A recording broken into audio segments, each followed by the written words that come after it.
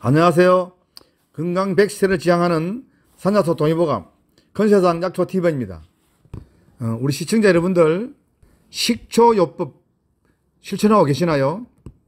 목감기 예방이나 인후염 이러한 즉 목계통의 질환에는 이 식초요법이 아주 좋습니다. 식초는 보통 우리가 뭐 사용하는 현미식초 있죠. 이거 사용하면 되고요. 여기에 물을 한 10% 타십시오. 그리고 소금을 너무 짜지 않을 만큼 조금만 넣고요. 그렇게 흔들어 들고 다니며 아니면 차에 두고 수시로 각을 해주면은 목감기 거의 안 합니다. 저도 사실 사무실 책상이나 또 아니면 제 차에 거의 1년 내내 들고 다니며 시간 나는 대로 수시로 각을 하고 있습니다. 꼭 활용해 보시고요.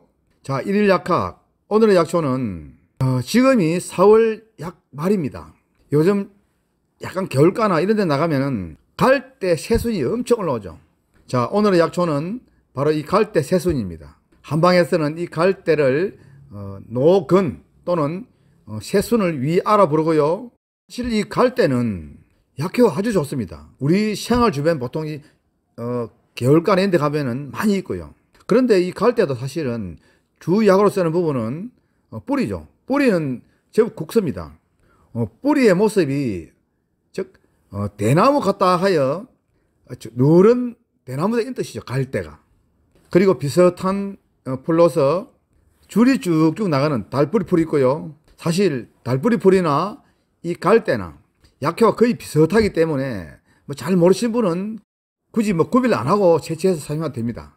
자, 이 갈대의 약성은 창성질이고요. 맛은 달고 독은 없습니다. 자, 제가 이 갈대 주약효를 쓰는 부분은 뿌리에 쓴다 그랬죠. 그럼 어떻습니까? 잎이 다 말라지고 없는 겨울부터 한 3월 이 사이에 채취하면 가장 좋겠죠. 그러나 만약 그때 못하고 또 사실 갈 때는 깊이 들어가 있죠. 그러니 채취하기도 힘들고요. 그렇다면 언제 하느냐? 어, 지금 화면 보십시오. 이제 새파랗게 갈때 새순이 한 한 자 정도 올라왔습니다. 그때 순을 채취해서 말려두었다가 차 따라 드시면 맛도 좋고 약효도 아주 좋죠. 사실 저도 매년 이맘때쯤이면은 겨울까지 나가서 이 갈대 새순을 채취해서 약차로 많이 이용하고 있습니다. 자, 제가 지난 겨울에 채취한 갈대 뿌리 한번 보십시오. 제법 굵죠? 어, 제법 손가락 적도 굵직하고요. 색깔은 노랗고, 어, 그리고 중간중간 마디가 있죠. 대나무 뿌리와 거의 흡사합니다. 그리고 씹어보면 맛이 달짝지근하고요. 그런데 이 갈대 약효는 사실 상상을 초월할 만큼 좋습니다. 찬성이다 보니 어, 열을 내린 해열작용이 아주 뛰어나고요. 그리고 소변을 잘 나게 하는 이효작용도 아주 뛰어납니다. 보니 요도염, 방광염, 뭐 신장 결석 이런 데도 이 갈대 뿌리를 아주 많이 쓰고 있고요. 그리고 안에 쌓여있는 독소를 분해 배출해서 몸을 좀 깔끔하게 만드는 작용도 이 갈대가 아주 뛰어나죠. 한마디로 해독 작용이 아주 뛰어납니다. 그러니 좀 침침한 눈도 밝게 만들어주고 또 평소에 뭐 조금만 일을 해도 피로를 많이 느끼는 사람이 있죠. 이런 피로 회복에도 아주 좋고요. 그리고 특히 어, 술 많이 드시는 분들은 약초 한잔 하고 오셔서 이 갈대 뿌리 집에서 푹 달에 가서 한 잔 드시고 주무시면 딘달 아침 몸이 거뜬해지죠. 한마디로 해독 작용이 아주 뛰어난 겁니다. 그러니 알코올을 분해 배출 잘 시키고 그리고 주무시고 일어나면 목이 타는 듯한 이런 갈증도 안 생기죠.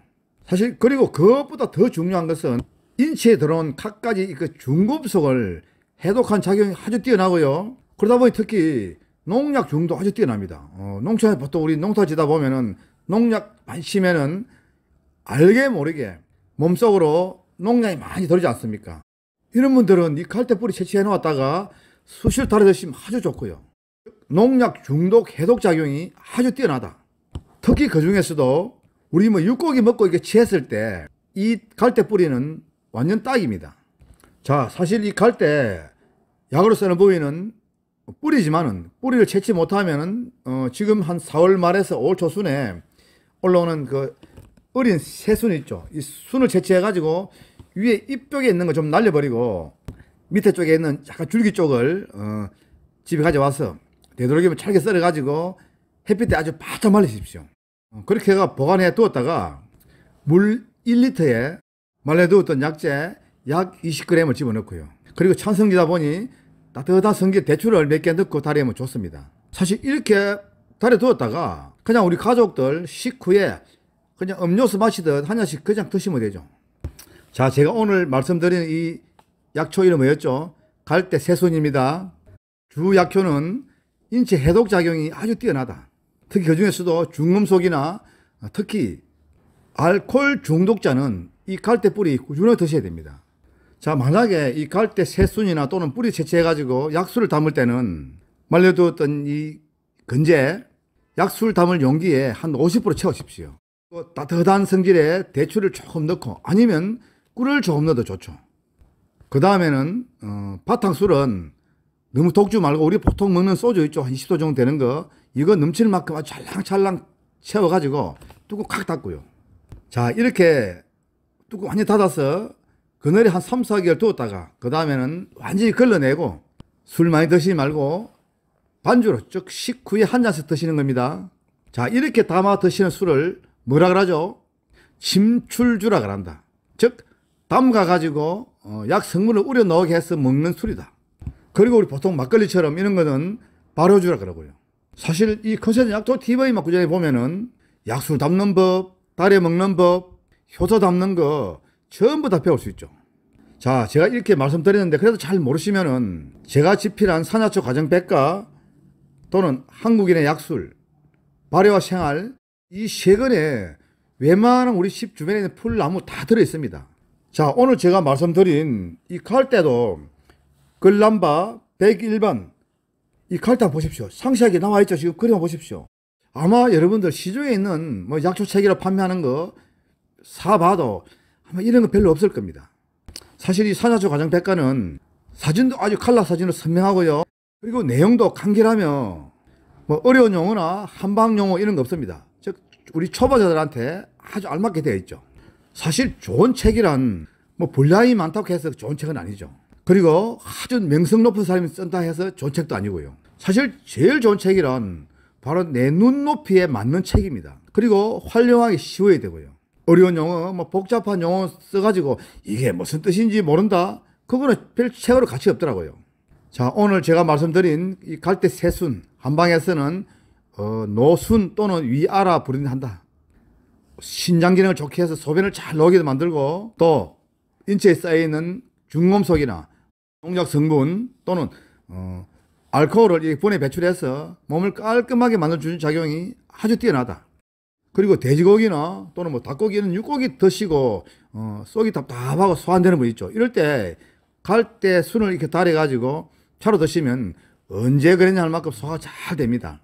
자 혹시 구독, 엄지척 안 누른 분은 지금 눌러주시기 바라고요. 특히 그 중에서도 엄지척은 매 폴에 한 번씩 눌러주십시오. 사실 우리 시청자 여러분들 이 엄지척 눌러준다 그래서 뭐 손해 갈 일이 없지 않습니까? 바로 저희들은 이런 엄지척이나 여러분들의 댓글 이걸 먹고 삽니다.